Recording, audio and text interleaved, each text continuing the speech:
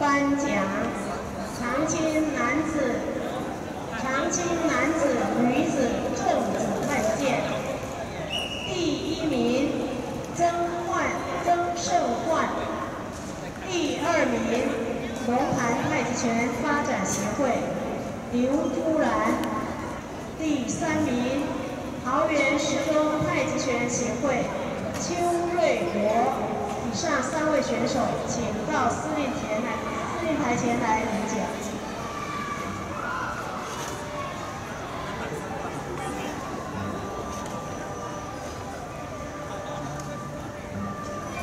颁发长青女子太极赛，第一名，平镇区体育会郑月魏月娥；第二名，平镇区体育会。